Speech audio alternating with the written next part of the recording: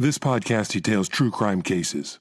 It contains adult themes and may contain descriptions of violence. This episode contains explicit language. It is not intended for children. Listener discretion is advised.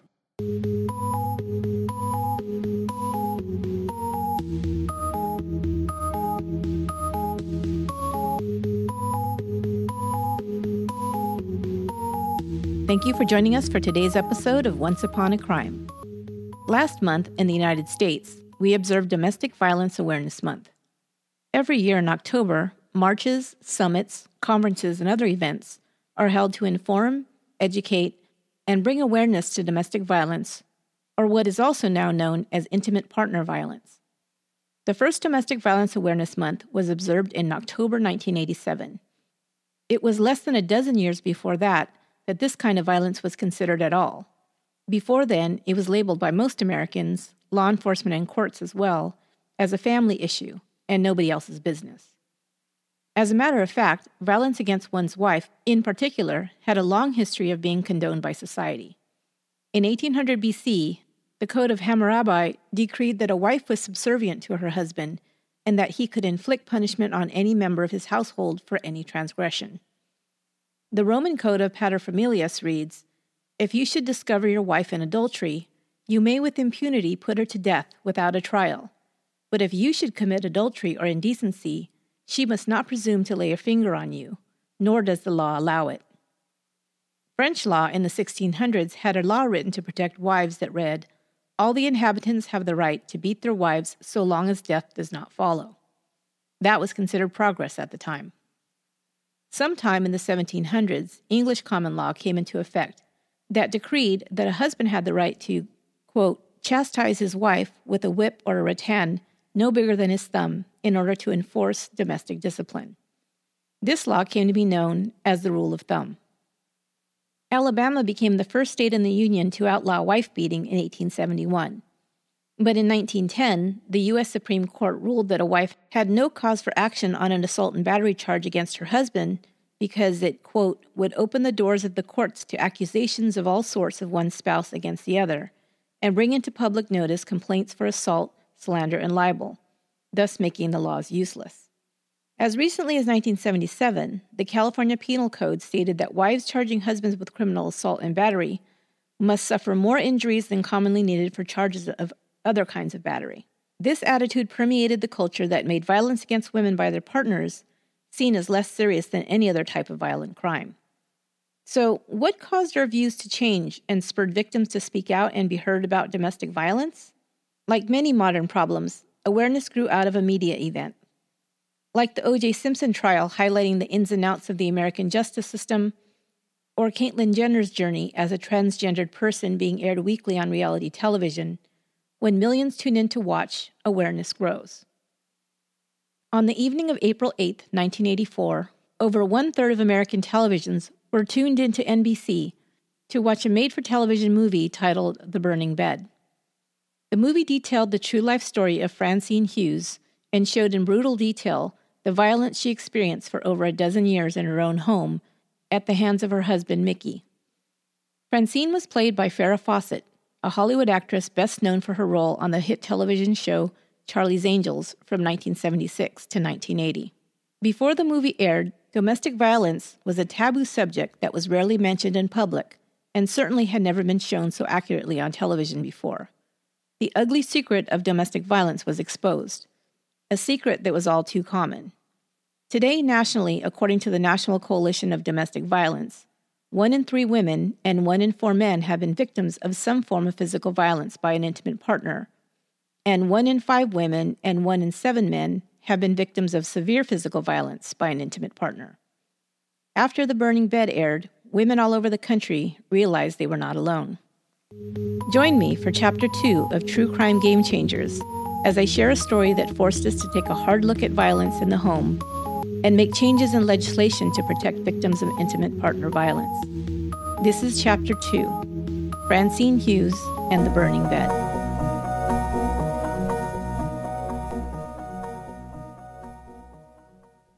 Francine Moran was one of six children born to Walter Moran and Hazel Fleming Moran. Walter and Hazel, originally from Kentucky, married in 1938. Walter was 25 and Hazel was 14. They moved north to Lansing, Michigan to find work, first working on farms, and later Hazel worked as a waitress. When Walter found a job working in a factory, the family relocated to Jackson, moving from house to house when they got behind on the rent. Walter was a hard worker, but a weekend drinker. He would begin drinking on Friday, payday, and sometimes Hazel would have to intercept him and take his paycheck before he drank most of it away. He also began to gamble and was arrested and spent a short time in jail for stealing tools from the shop where he worked to repay gambling debts. Francine's mother worked, raised six kids, and kept an immaculate home. From her, Francine learned that home and family were a woman's top priority. Sometimes times were tough, but you didn't complain. You just bore the weight and kept going. Francine learned to cook and keep a clean home. You might not have much, her mother emphasized, but you should keep it nice and take pride in what you did have. Francine, being the second oldest daughter, was also often charged with caring for the younger children. One day, three year old David wandered off down the road without Francine noticing, and he was hit by a car. He was badly injured but survived. Francine, only eight at the time, always felt a tremendous amount of guilt for what she considered to be her fault. She nursed him around the clock, making sure he had everything he needed. Francine was a bright child and loved school. Her parents had very little schooling. Her mother had only had one year and could not read or write until her husband taught her. Francine, in contrast, was her class's champion speller and earned high marks in most subjects. She was proud of her good grades and loved to read. As she got older and had more responsibilities at home, however, school seemed to fade into the background. It didn't seem related to real life to Francine which was all about chores and caring for her siblings, making sure everyone was fed and cared for. She felt more mature than her classmates and like she didn't fit in. This feeling was exacerbated when she began junior high school, and the girls were more interested in looks and clothing. Francine felt the stigma of poverty and felt self conscious and less than than the other girls in her class. Francine's only currency was her intelligence, which was scorned by her peers. Only popularity mattered, she had less and less incentive to do well in school. Francine met a girl named Sharon Taylor, whose circumstances were similar to her own. Their fathers both worked in factories, and Sharon lived a block over in a similar home. They became best friends. Francine, now 15, was interested in all things other teens did at that time hanging out with friends at parties, playing records, going out with groups to drive around and meet and flirt with boys. Francine was inexperienced in boy girl relations, growing up in a very conservative home with strict parents. She was taller than most of the other girls, five foot seven, with a curvy figure that embarrassed her, but got her noticed by boys. Sharon and Francine met two boys, Bill Hensley and Mickey Hughes, at a friend's house. Sharon was attracted to Bill, and when Bill and Mickey offered them a ride home, the girls jumped at the chance to get to know them. Mickey was 18 and seemed more mature than the other boys, which made him attractive to Francine. On the way home, Mickey parked the car and tried to kiss Francine. She resisted and struggled with him for several minutes before he gave up and, disgusted, dropped her home. Sharon and Francine both agreed that Mickey and Bill, who'd also been too fresh, were creeps. Later that spring, Francine ran into Mickey again, and he asked her out for the following weekend. Francine, not having had many real dates before, agreed. Francine began seeing Mickey regularly, and Sharon began dating Bill at the same time. Their dates were usually the boys picking up Francine and Sharon, going to McDonald's for hamburgers, driving around, and then making out in the car before being dropped off at home. Mickey, having left school at 16, had a full time job in a car, which made him seem rich to Francine. Mickey took Francine to meet his parents, who lived in Dansville, 30 minutes away from Jackson. Mickey's mom, Flossie, was tall and seemed to rule the home over her husband, Berlin, who was shorter than his wife and quiet. Flossie was outspoken, speaking in a plain, no nonsense Kentucky mountain folk way that was familiar to Francine.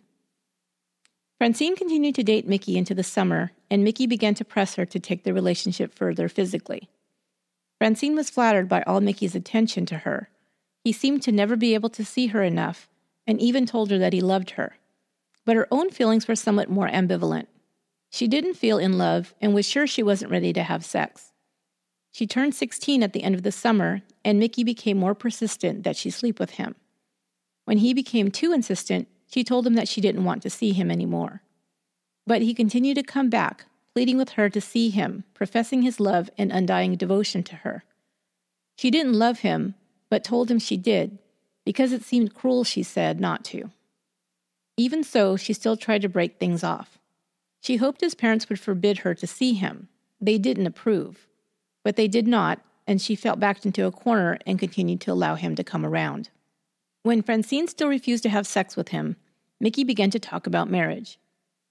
To put him off, she told him that she wanted to wait. If they still loved each other later, Francine said, then they could talk about marriage. He refused to take no for an answer. Somehow, Francine said, he made me feel guilty and responsible for him. Francine quit school that fall, dropping out at 16 like her two older siblings. She also got tired of resisting Mickey. He was so persistent and wore her down until she just gave in, losing her virginity in the backseat of a car. The first thing Mickey told her after was, Now you don't have to marry me if you don't want to. Francine was horrified. She'd given him something she didn't want to give just to please him, and now she was his. This was how she was raised to believe things worked. She'd let him have her body, and now they were forever joined to one another. Only bad girls slept around, and more than anything, Francine wanted to be thought of as good a good girl, a good daughter, a good wife, and someday a good mother. She told her parents now that she wanted to marry Mickey. They thought it was a bad idea, but didn't protest. Mickey's parents also didn't object. With a feeling of dread, she'd seen too many marriages that happened too fast and too young and turned out badly. But she tried to convince herself that it would work out. Mickey loved her, and she would be a good wife, and she was sure grow to love him too. Days before the wedding, Francine and Sharon were to attend a party with Mickey and Bill. When they got there, they saw some girls who were Mickey and Bill's former girlfriends going in. Francine and Sharon refused to attend the party and stayed in the car. The guys went in without them, leaving them to wait alone. Irritated and bored, Francine decided to drive away in Mickey's car, even though she had little driving experience. Mickey ran after her. She drove as far as Mickey's parents' house and parked it in front, running inside, giggling, to hide playfully from Mickey. When Mickey arrived, to her shock, he grabbed her by the front of her blouse and placed his other hand around her throat in a tight grip. Don't you ever take my car, he said. She saw pure rage in his eyes. She burst into tears and apologized. She felt his anger was her fault. She knew how much his car meant to him, and she never should have driven it without his permission. He kissed her, and Francine put the incident out of her mind. Francine and Mickey were married on November 4th, 1963. Before they even began their life together, Mickey quit his job. He decided he wanted a better job. Francine was now married to an 18 year old, unemployed high school dropout. She was terrified, but felt it was too late to go back on her promise. Francine moved in with the Hughes family. Flossie and Berlin had six children five boys and one girl. They were also caring for another child, Vicky, the daughter of one of Flossie's sisters who had died. Francine quickly realized that in the Hughes home, the boys were king. Flossie doted on the boys and required little or nothing of them. The girls were required to wait on the boys hand and foot. Mickey and his brothers were already known to the local sheriff's department. They had a reputation for being cocky troublemakers with no respect for the law. Mickey's first recorded arrest for disturbing the peace took place the previous year.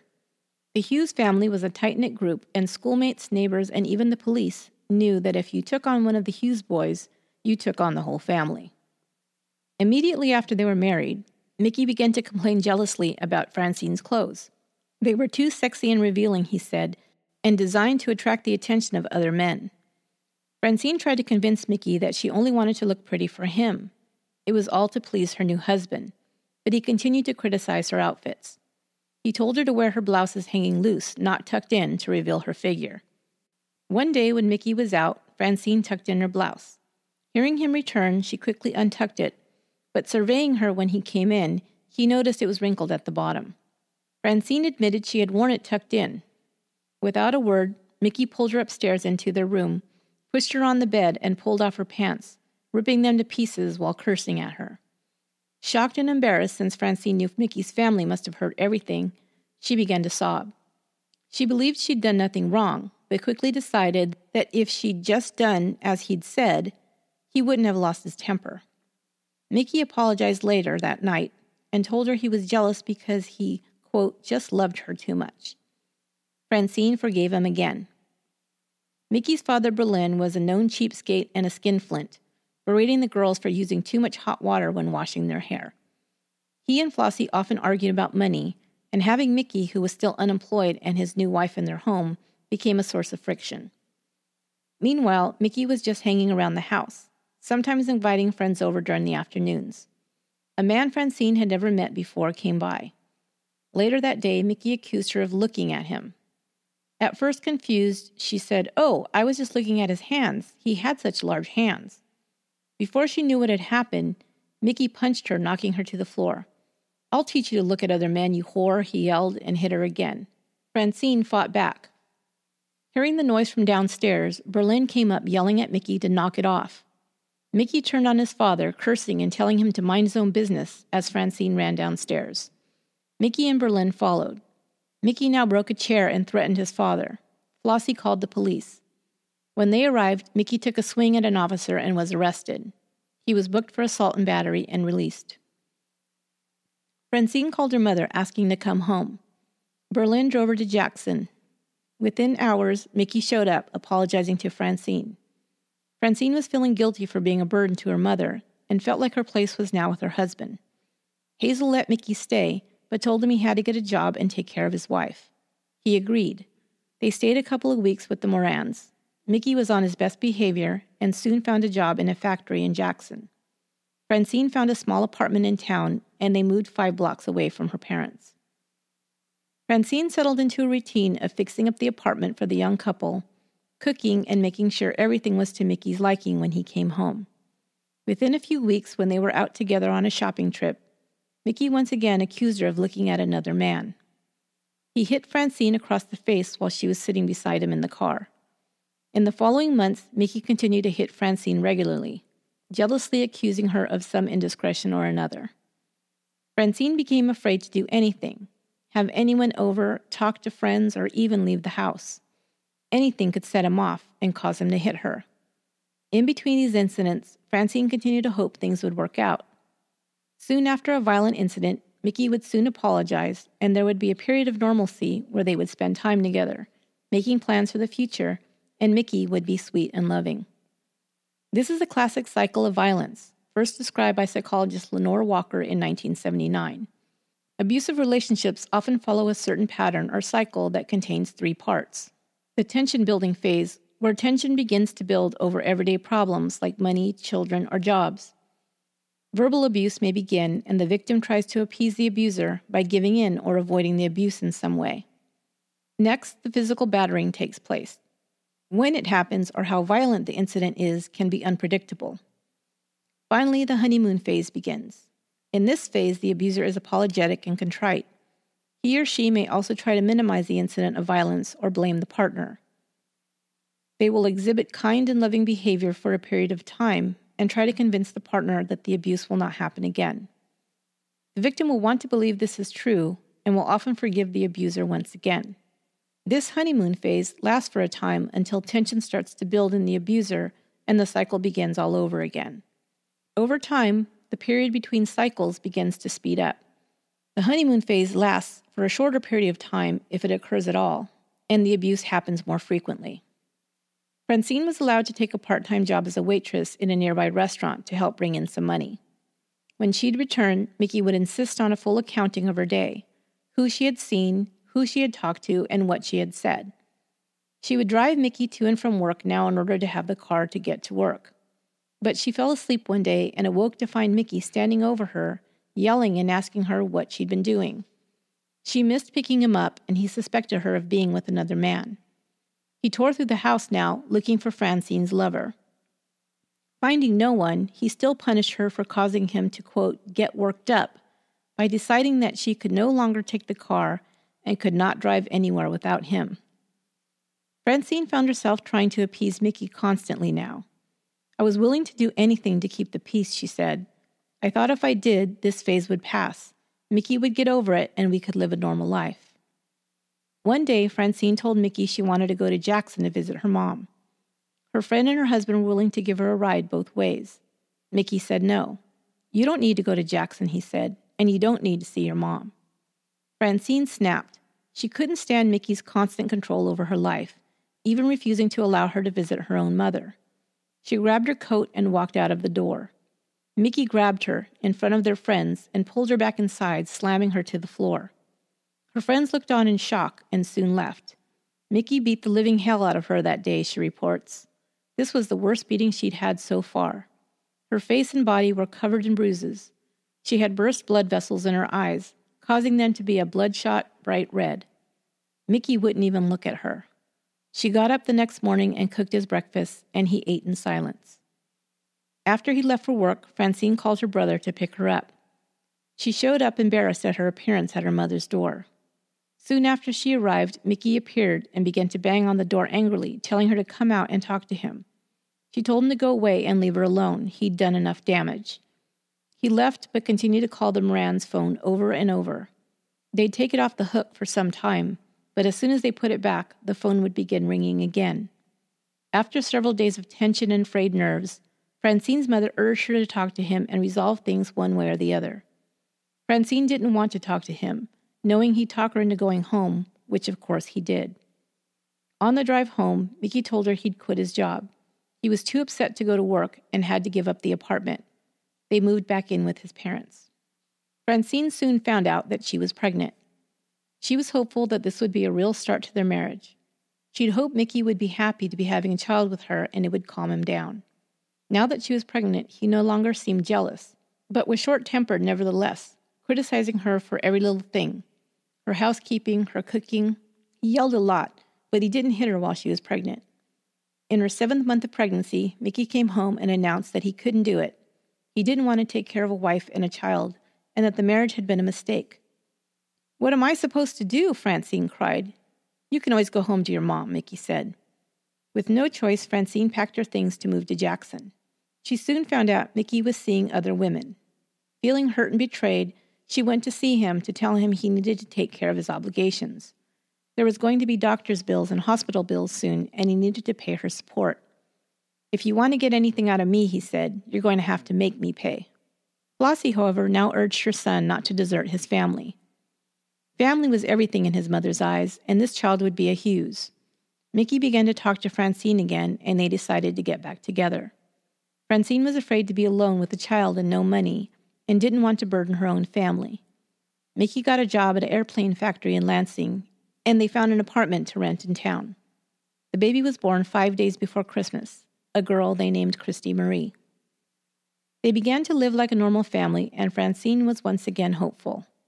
He'd not beaten her since she announced her pregnancy, but she felt like she was raising two children instead of one. She had to do absolutely everything for him, from dragging him out of bed in the morning to go to work, to cooking and cleaning for him, and also cleaning up after his friends, along with caring for a newborn. Mickey's friends were over all weekend, drinking and smoking and playing music. Francine had been getting beers and emptying ashtrays all weekend. Finally exhausted and sick of the noise and trying to keep the baby from waking up, she finally spoke up. I'm sick of all this. I'm going to bed, she yelled. Mickey slapped her full force in front of everybody. Francine was humiliated. Mickey now began to beat Francine regularly again. He didn't care who was there or who might be watching, and no one spoke up for her. After all, most considered this to be a family affair. Friends and neighbors and Mickey's family just ignored the marks on Francine's face and body. When Christy was about six months old, Francine found out Mickey was cheating on her with other women. He was spending less time at home. He would also take his paychecks and spend most of it at the bars and wherever else he was going. Francine didn't have enough food and diapers and argued with Mickey. Furious, one day when he was leaving, she threw an ashtray at him that broke and cut his finger. He threw a vase at her and laughed and walked out the door. With his back to her, she threw a coffee cup at him that hit him in the back of the neck, cutting him. He went to his mother's and she took him to the hospital to have the cut stitched up. Flossie, in a rage, came to Francine's and yelled at her, You could have hurt him badly. You could have killed him. Francine yelled back, What about me? What do you think could happen to me when he's hitting me? His family defended Mickey while ignoring Francine's abuse it would become a familiar pattern. When Christy was nine months old, Francine found out she was pregnant for the second time. Mickey was still cheating on her with other women. Her friends reported that he was bringing other women around when he was out without Francine. But she was afraid and wondered how she'd make it with two kids and no husband, especially knowing that he'd refused to pay any support in the past. So she swallowed her pride. Their second child was a son they named James, called Jimmy. Mickey got a job at an auto factory and was making a better wage. They moved to a small house right before Jimmy was born, and Mickey bought a 64 Malibu, a showy sports car. Mickey began coming home late. He'd never been a big drinker, but now he was coming home drunk more often. Francine had her hands full with two children in diapers. She was proud of her kids and kept them spotless and the house immaculate. She desperately wanted to be a good wife and mother and provide a good home for her children. A pattern also began to emerge that once things took on a normal routine, Mickey with a steady job, Francine settled into a routine of caring for the home and the children, Mickey would become bored. He'd quit his job for something better. This often required the young family to pack everything up and start over again, once to the Kansas City area for a construction job.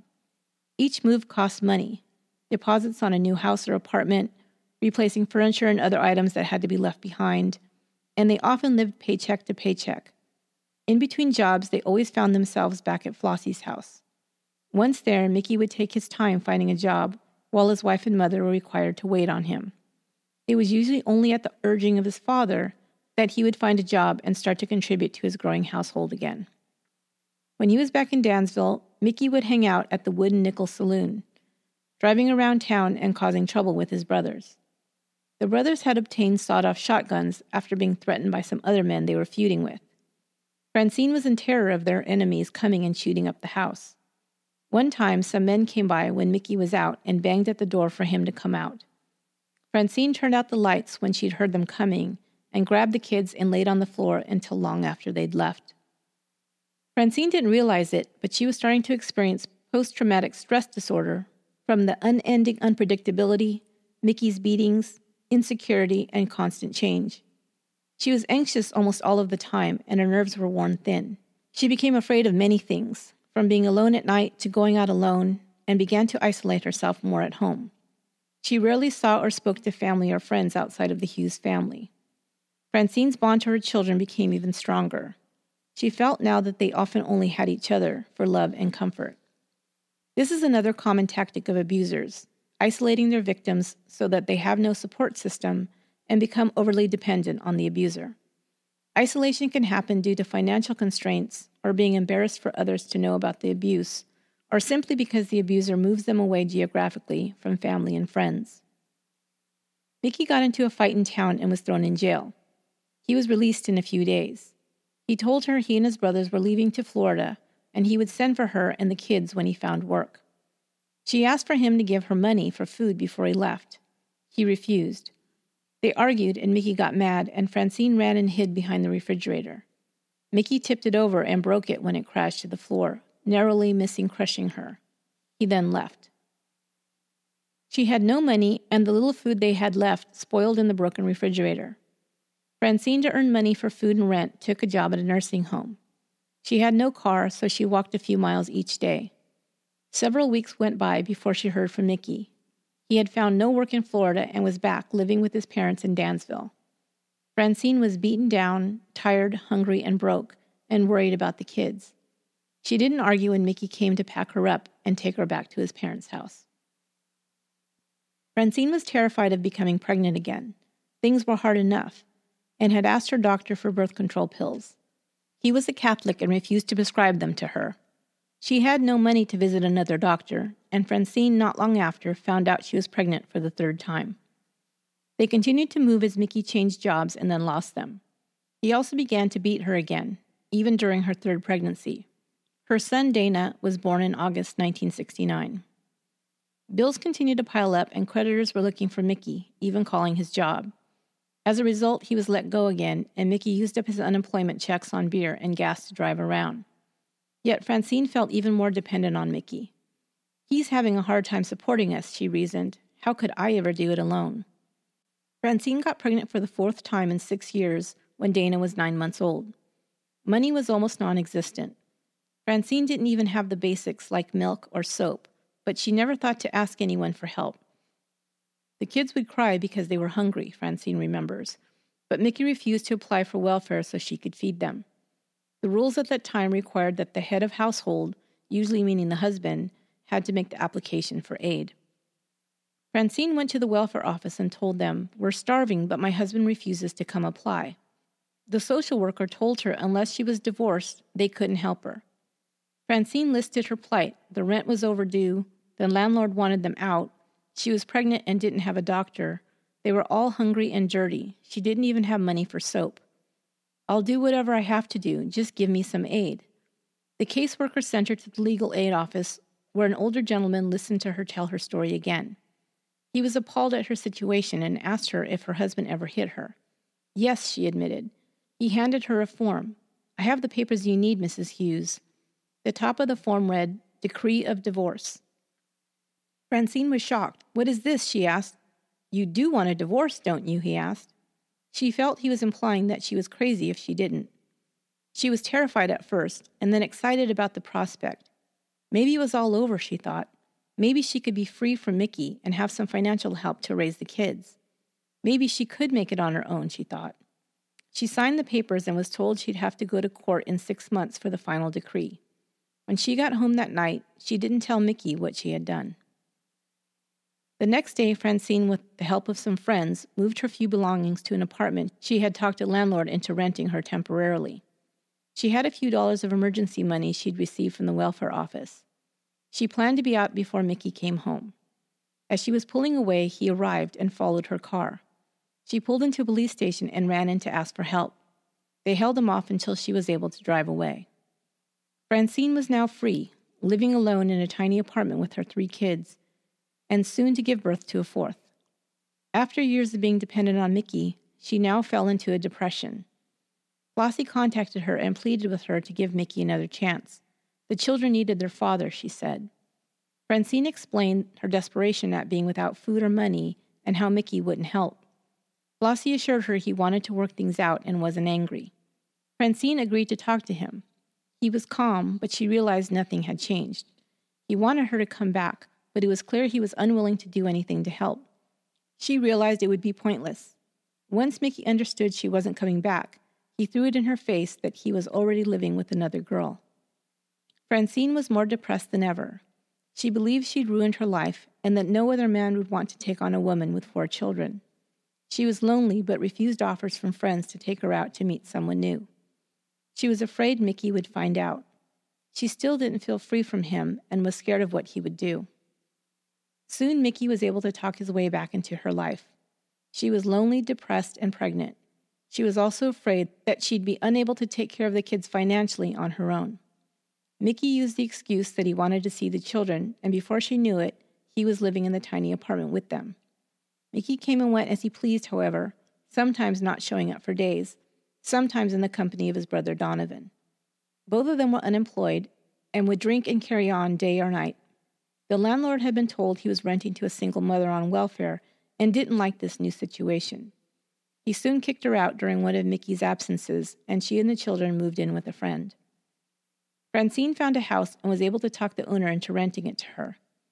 Soon after she moved in, Mickey showed up saying he was her husband and the father to the children, and he had a right to live there. Francine said he could visit the children, but couldn't live there because he'd get her kicked out. He refused to leave, and Francine was afraid to provoke a fight and gave in again. Her fourth child, a girl named Nicole, was born on a cold February day. Mickey was absent again and didn't attend the birth of his daughter. He showed up at the hospital in the middle of the night, drunk, and demanded to see Francine and the baby. The nurses denied him entry into the maternity ward, but allowed him to see the baby in the nursery window. Francine finally found that she no longer held any love for Mickey and didn't want to see him or have him around. She returned home with the baby. Mickey came and went as he pleased, saying she could get a thousand divorces. He had already been served the divorce papers, but she would always be his wife, and these were his children. Francine, afraid of losing her lease if any violent scenes took place at her new home, didn't oppose him.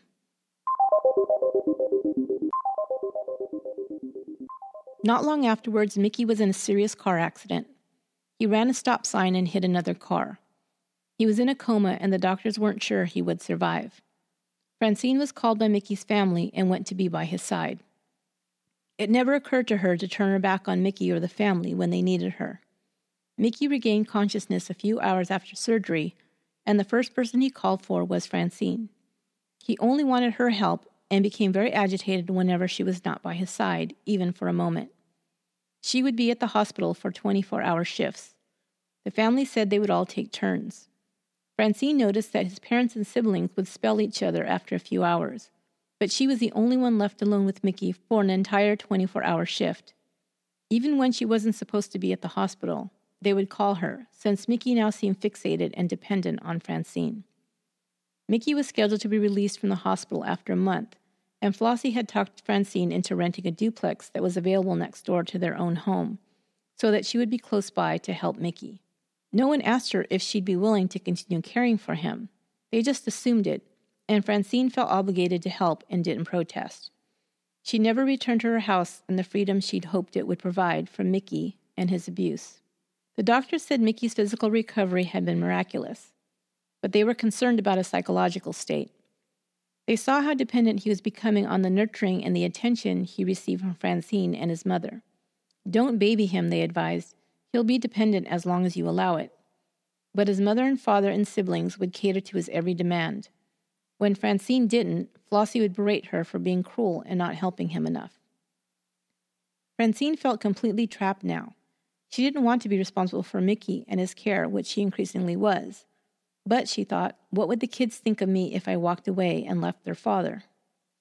When Mickey's final cast was taken off after two months, he finally began to leave the house. Glad to be free of Mickey even for a few hours, it soon became apparent that things would now be even worse. He'd leave the house only to go to the bar to drink. He would return not only drunk, but angry and mean as well. He asked Francine to marry him again. She couldn't bring herself to agree. When she said no, he hit her for the first time since the accident. She now more frequently saw the danger signs that signaled a beating. His eyes would glitter, he'd clench his teeth, the muscles in his jaws would twitch.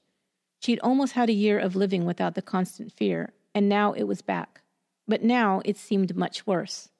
Later, she'd wonder if something had happened to him as a result of the car accident that had made him so crazy. Did something happen to affect his brain that made his violent rages worse? Or was it the fact that he was more helpless due to his physical deterioration that caused him to use violence to feel in control? She didn't know.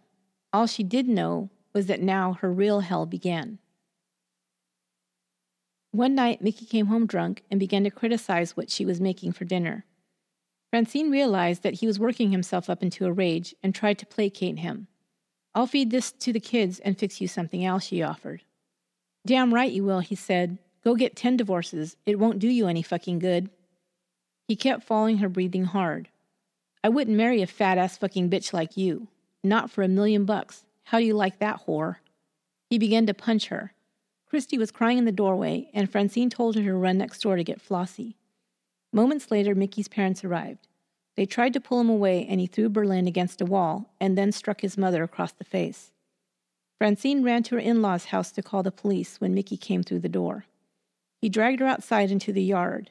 He was pummeling her when the police car pulled up. The deputies approached, and he swung at them. They had to hold him down on the ground as he continued to fight them. Flossie came running out, yelling at the deputies to get off of her son. He was sick and they were hurting him, she said. They arrested him and took him away to be checked out at the hospital. Later, it was determined that he was unhurt.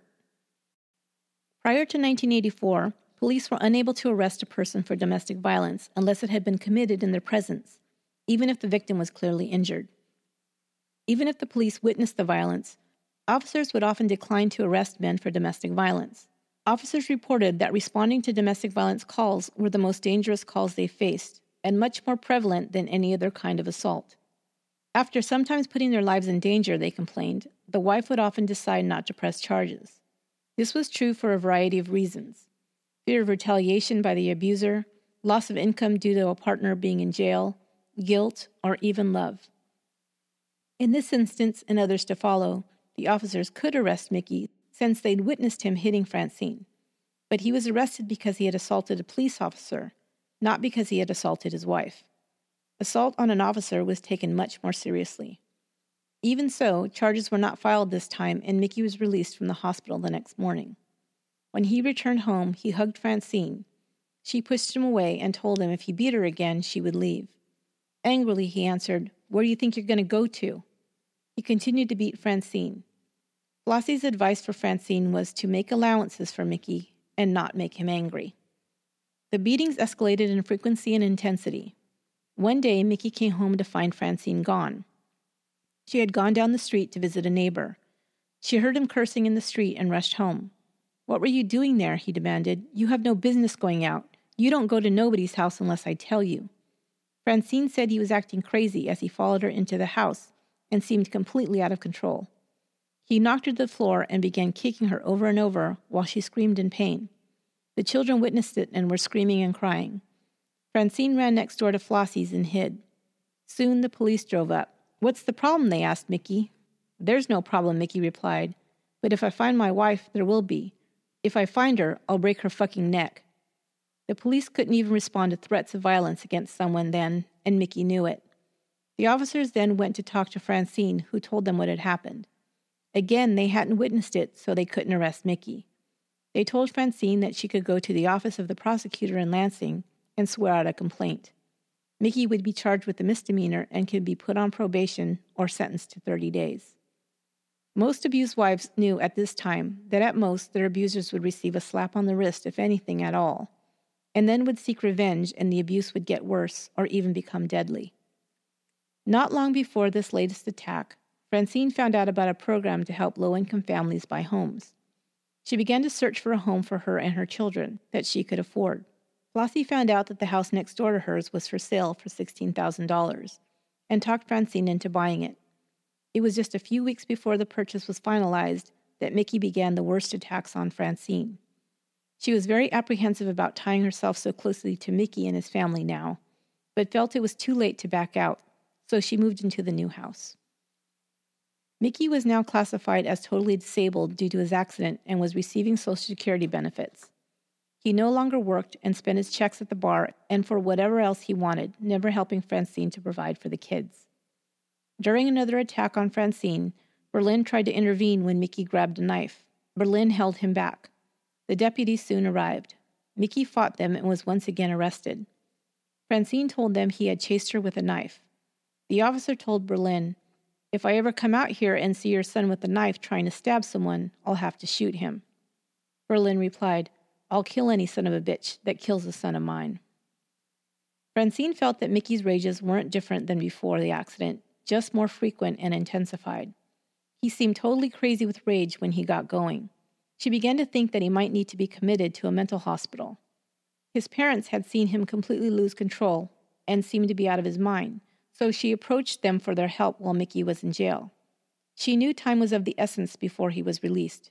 She tried to convince them to have him seen by a psychiatrist and possibly hospitalized. Surprisingly, Flossie agreed. I'd rather have him in the hospital than in jail, she said. When he's mad, he doesn't know what he's doing. He ought to see a doctor and get help before he hurts somebody real bad. Berlin was furious. He told Flossie that he was leaving. He wouldn't stand for such a thing. He left the house without another word.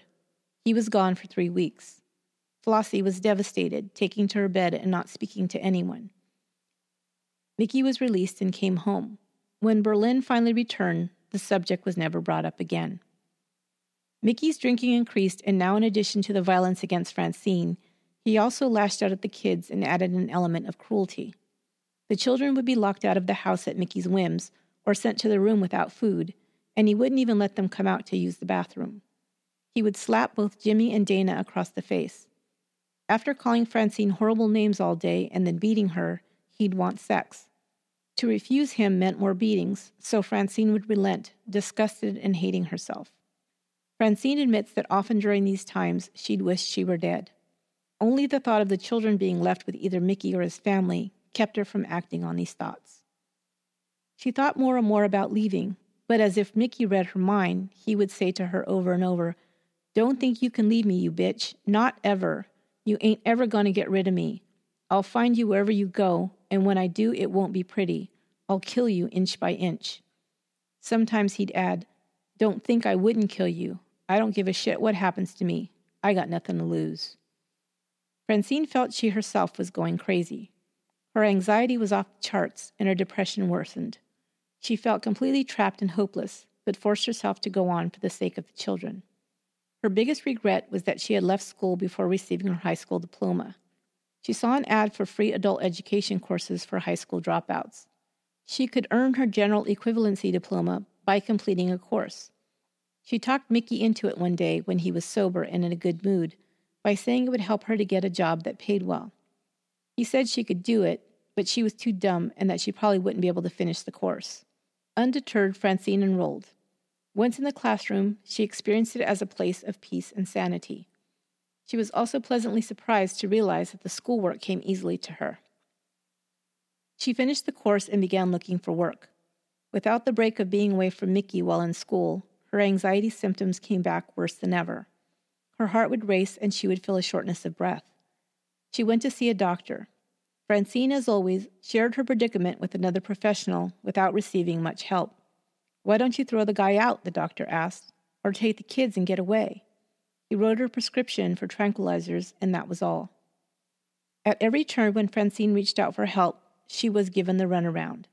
The police came out over and over and could do nothing. She tried to approach the welfare office and tell them that her ex husband wouldn't leave the house. There was nothing they could do, they said. And because she was receiving aid, they told her, if he was living there, she could be charged with fraud. She was told by officers to go to the probate office and see if they could help. He's crazy, and I think he's going to kill me, she pleaded. Can't you get him committed? The woman at the probate office asked if he drank. Yes, Francine said. He's drunk every day. We don't handle alcoholics, she said. You'll have to go through other programs for that. They told her to see a lawyer. She told them she couldn't afford one. There's nothing we can do, they said. Sometimes women have to leave the state to get away from their husbands. Maybe you could do that. Mickey wasn't even legally her husband anymore, but that didn't seem to matter to anyone at all. She couldn't even get him out of her home. Every door had been slammed in my face, Francine says. I was worse off than before. Now I knew I couldn't get any help from the courts or the hospitals. I was up against a blank wall.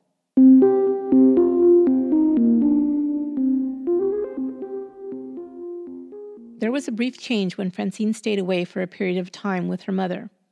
Mickey had come and taken the children, but even so, Francine didn't return. She was afraid to leave the children with Mickey and his family, but couldn't think what else to do. Flossie finally called her and said Mickey was a changed man.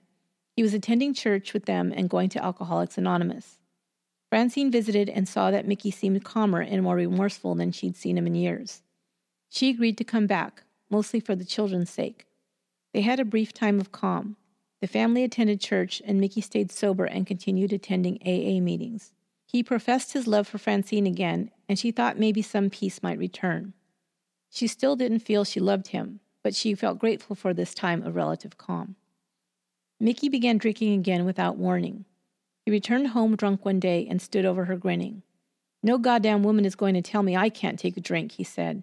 He then hit her across the face and dragged her out of bed. Dragging her into the kitchen, he held a knife to her throat. He seemed completely insane. Finally, he threw the knife down, saying, Get out of here before I cut your throat. Francine had filled out a grant application for adult education and been approved. If she enrolled in school, she would receive money to cover her tuition and a small amount for books and transportation. She decided she'd like to attend Lansing Business College. She thought she could sell Mickey on the idea of free government money. If she didn't go, she wouldn't receive the money, she explained. Once again, he told her she was too stupid to finish, but to go ahead. She enrolled in Lansing Business College in September of 1976. She soon found that she loved the college courses and even had a few friends at the school. They would sit together and have coffee between classes, and she felt more normal than she had since she left school at 16. She, of course, didn't tell them what was going on at home, but later her fellow students would say that, of course, they saw the marks on her and guessed what was happening. She had to be very careful at home, though. Mickey hated to see her study or even leave her books out where he'd see them, and it would set him off. She often had to wait until late at night when he was asleep to study, and then get up early in the morning to get the kids off to school and head to her classes. but she felt it was worth it. Mickey would beat Francine once or twice per week now. He'd find any excuse to get angry.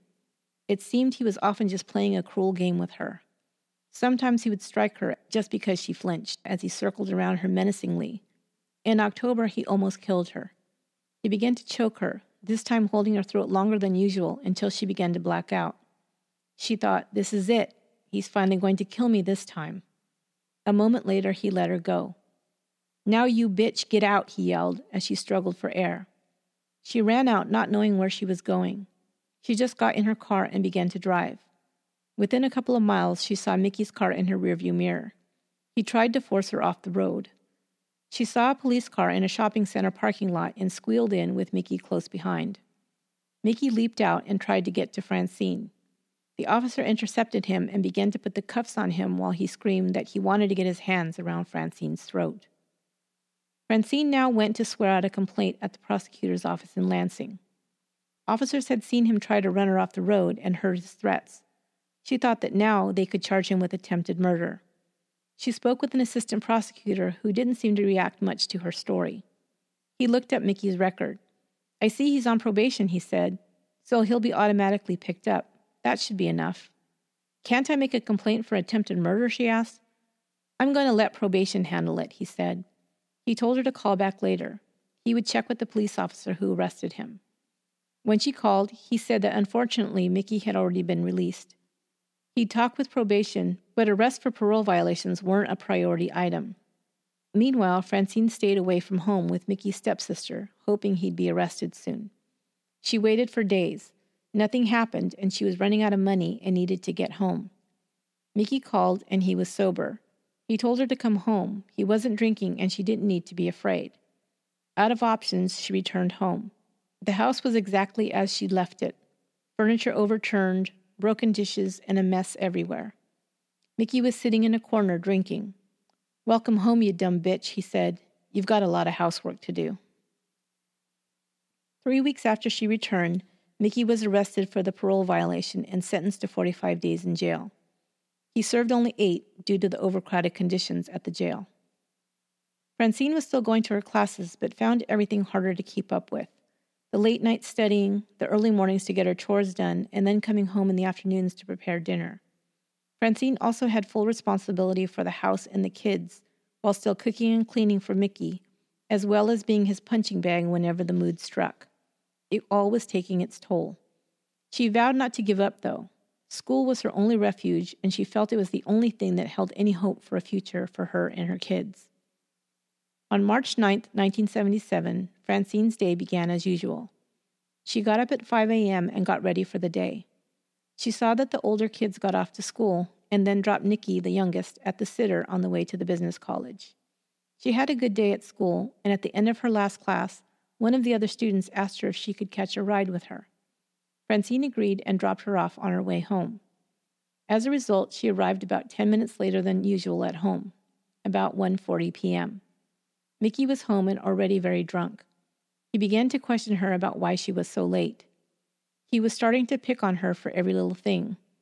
She saw there was nothing to make for dinner, so she told him she needed to go into town for groceries. Mickey began to tell her what she should get and what he didn't want.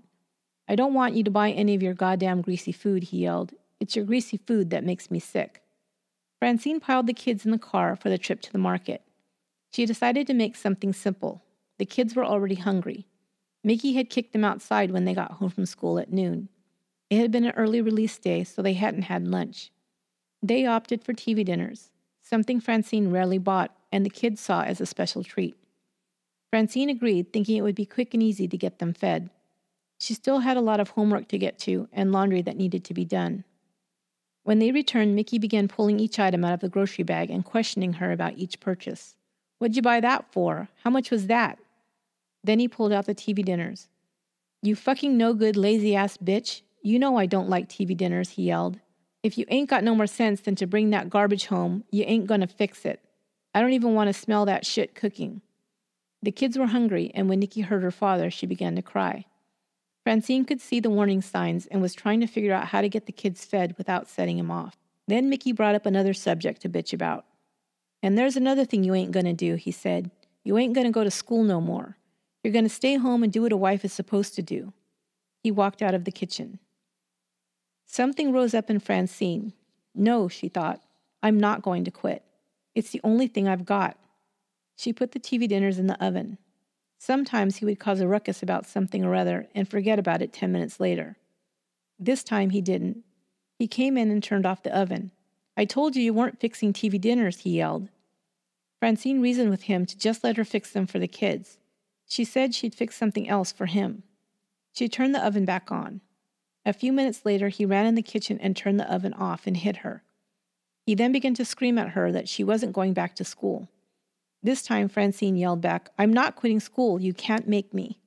He seemed to be thinking for a minute and then told her she had to turn her car back in to the car dealer. He knew if she had no car, there was no way for her to get to school. He threatened if she didn't, he'd take a sledgehammer to it. She knew he'd do it.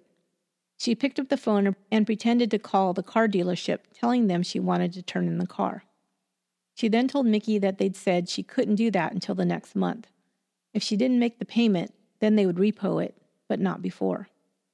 Mickey said nothing, but she knew he was thinking of his next move.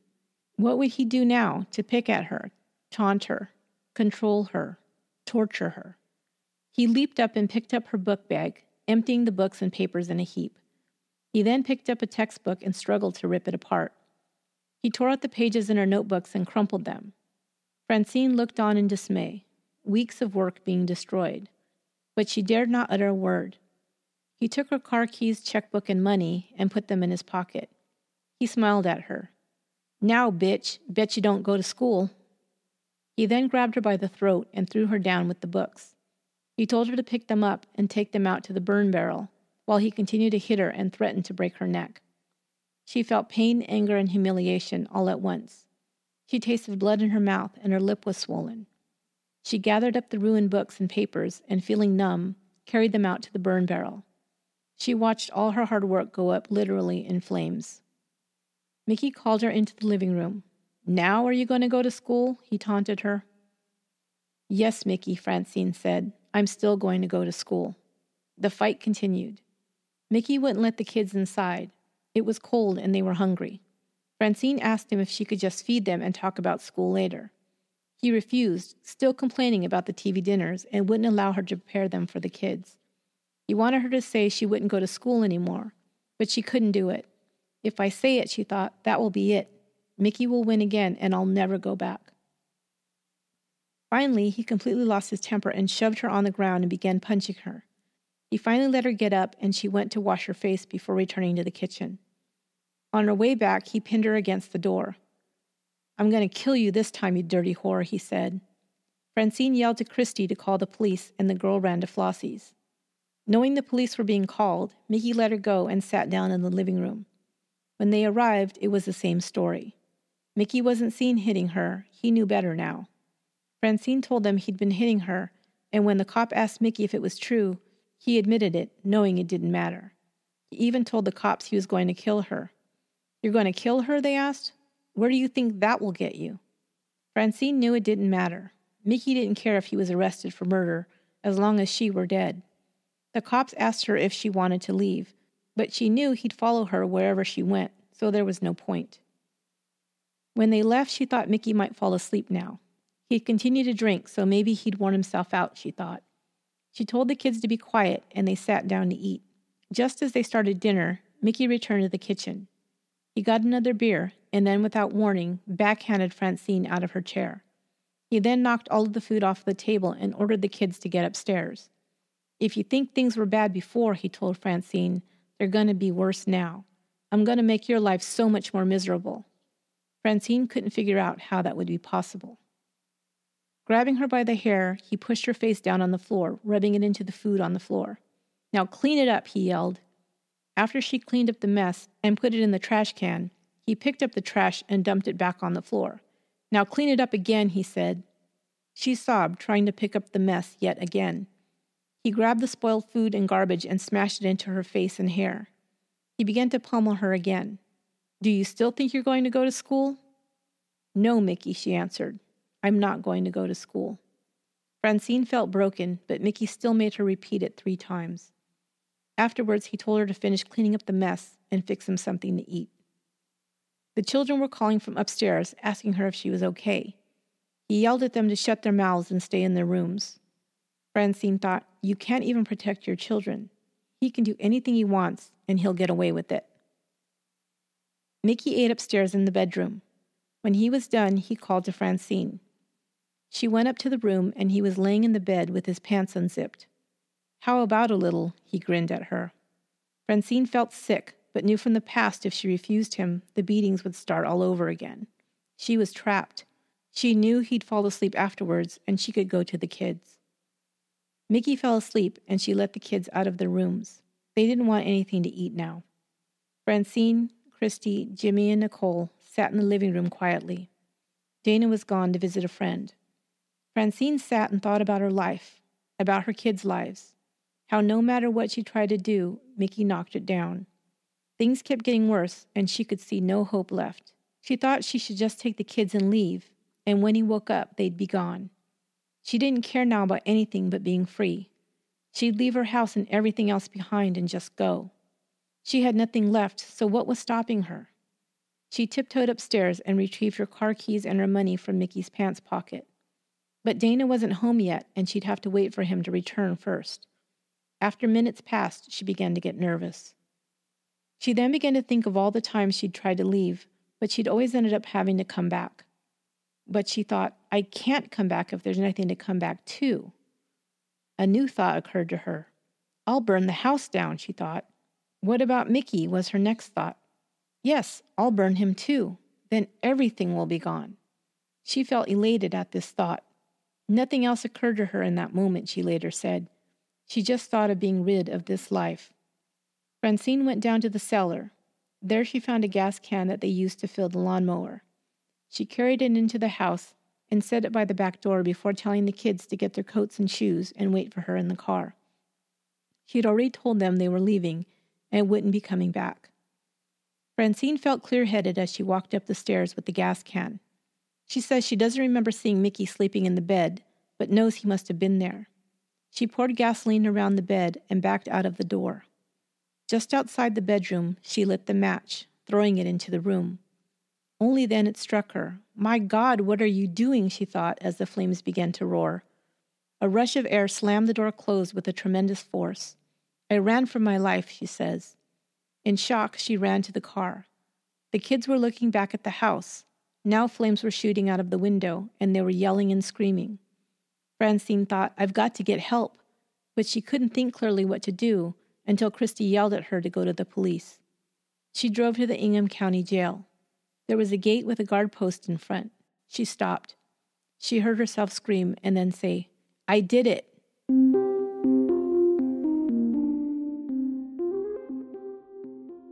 Fire trucks were dispatched to the house on Grove Street, but the flames were so hot it took several attempts before they could make any progress. Once they did, they found Mickey in the living room lying dead on the floor.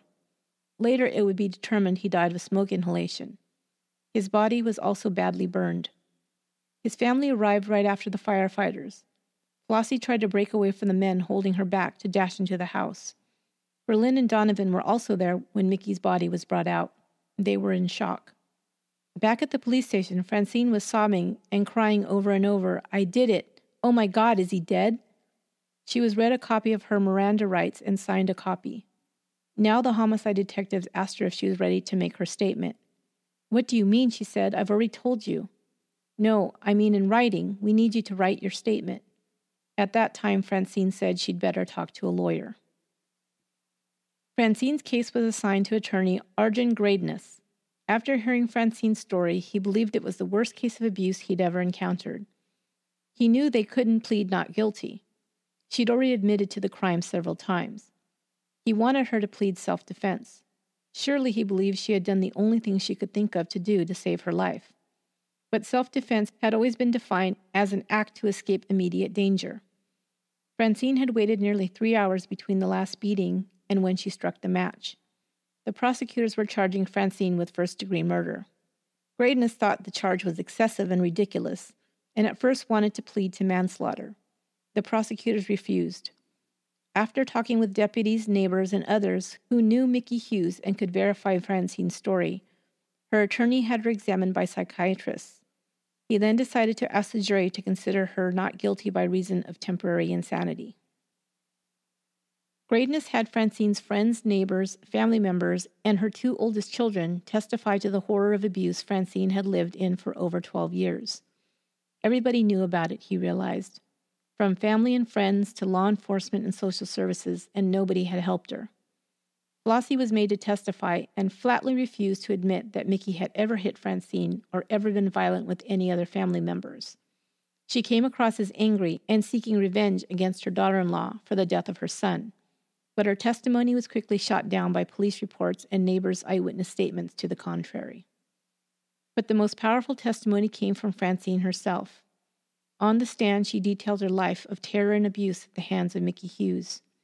Jurors were convinced that Francine felt completely trapped, hopeless, and terrified for her life and her kids' lives on a daily basis. They returned a verdict of not guilty by reason of temporary insanity. Without the temporary designation, Francine could have spent many years, even the rest of her life, committed to a mental facility. But it was determined her break with sanity happened that day, after the beating and the feeling of complete loss of control, after Mickey forced her to say she would quit school, and ended soon after she struck the match, regaining clarity of mind and turning herself in to the police. She'd spent 12 years in hell and eight months in jail, and now she was free.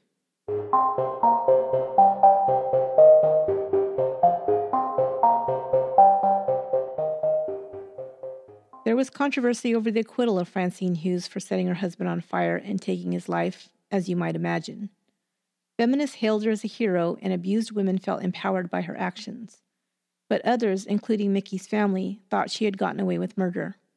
They threatened her life, writing her in jail while she was awaiting trial, sending a note that just said, You're next.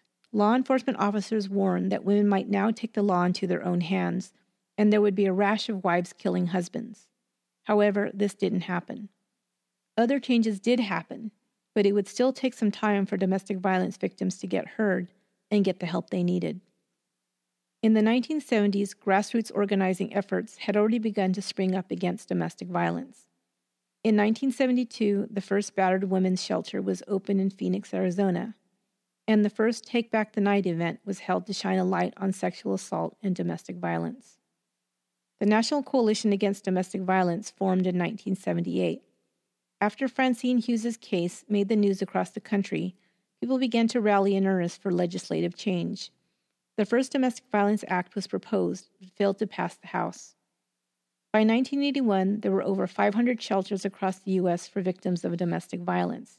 They provided a safe place for women to stay, as well as services to help with restraining orders, financial aid, and other social services. In the 1990s, the no drop policy began in some jurisdictions. These policies put the prosecutors, not the victims, in charge of moving forward on abuse cases. Victims could not arbitrarily drop charges against their abusers. The complainant was now the state or the jurisdiction who had made the arrest. Another policy that helped domestic violence victims tremendously was a change in police procedure in abuse cases. Officers no longer had to see the abuse happening but if they had a witness statement or simply saw marks or injuries on a victim, the suspected abuser could be arrested and charged. In 1993, healthcare practitioners in California began to be required to report suspected domestic violence to police when treating patients for injuries. Finally, in 1994, the Violence Against Women Act was signed into law by President Bill Clinton. The bill, co written by Senator Joe Biden and Congressperson Barbara Boxer, listed its objectives as raising public awareness for domestic violence, changing attitudes about it, providing resources to the victims, and improving the response of the criminal justice system to domestic violence.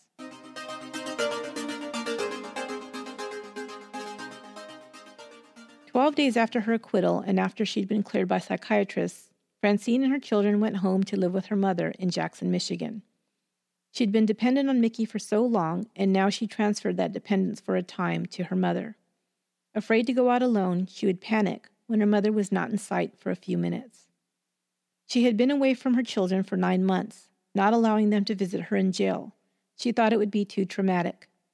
Now she had to rebuild relationships with 12 year old Christy, 10 year old Jimmy, 8 year old Dana, and 6 year old Nicole. It was rough at first.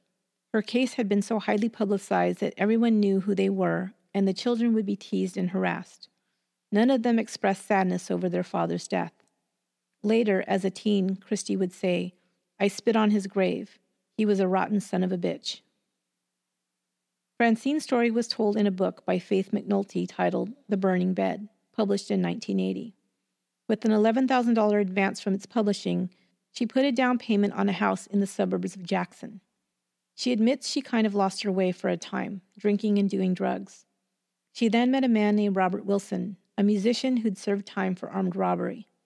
They married not long after they met. The kids were dealing with their own demons. Christy was rebellious and didn't like her new stepfather setting rules for her. Jimmy had anger issues and was in counseling. At 16, Christy moved out of the house and refused to move to Tennessee with her family. Wilson was from Tennessee, and they bought a 15 acre plot of land in Shelbyville, where they built a house. Francine went back to school and became a licensed practical nurse. Later, Nicole would accuse Wilson of trying to molest her. Wilson denied this, saying that Nicole was looking for an excuse to go back to Michigan and run wild with her big sister. Francine would follow Nicole back to Michigan and lease a place for her and the girls while Wilson stayed in Tennessee with the boys. They remained married but lived in separate states. Dana considers Wilson his father. Christy would later report that her mother beat her when she could not control her behavior. The movie The Burning Bed was released in 1984. Francine received $8,000 for her share of the movie rights. Mickey's mother Flossie refused to watch it, calling it a pack of lies. She said she watched the Country Music Awards instead. Flossie died in 2004 at the age of 82. Donovan Hughes, Mickey's youngest brother, committed suicide in 1979 at the age of 28. His family says it was on account of Mickey's death. He couldn't get over it, they said. Berlin Hughes, Mickey's father, also committed suicide several years later at the age of 64.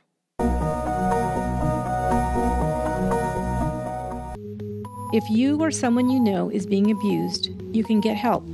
In the U.S., you can call the National Domestic Violence Hotline at 1 800 799 SAFE. That's 1 800 799 7233. In the UK, you can log on to victimsupport.org.uk. And in Australia, contact the Domestic Violence Resource Centre at dvrcv.org.au. Links to these resources will be provided on the show page. That concludes this episode of Once Upon a Crime. Once Upon a Crime is written, produced, and edited by me, Esther Ludlow. To give feedback or suggest show topics, you can find me on Facebook at Once Upon a Crime Pod and on Twitter and Instagram at Upon a Crime. Until next time, be good to one another.